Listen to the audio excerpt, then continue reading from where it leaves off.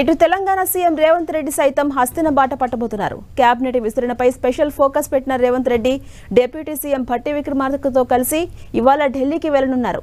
రేవంత్ వారం రోజుల వ్యవధిలో మరోసారి ఢిల్లీ బాట పట్టడంతో తెలంగాణ మంత్రివర్గ విస్తరణ కసరత్తు అంతిమ దశకు చేరినట్టు తెలుస్తోంది.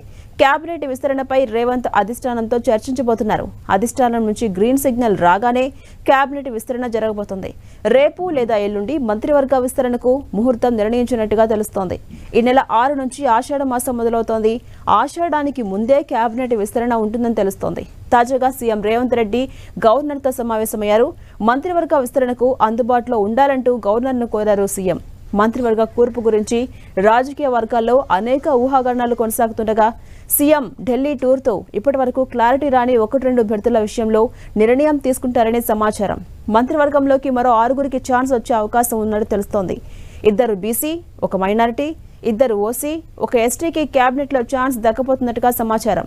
మరోవైపు ఉమ్మడి నిజామాబాద్ జిల్లాకు చెందిన నేతలకు కీలక పదవులు ఇస్తారనే టాక్ నడుస్తోంది.